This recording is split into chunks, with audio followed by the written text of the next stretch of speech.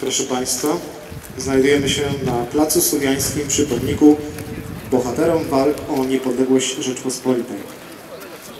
W dniu dzisiejszym obchodzimy Narodowe Święto Niepodległości ustanowione dla upamiętnienia rocznicy odzyskania w 1918 roku przez naród polski niepodległego bytu państwowego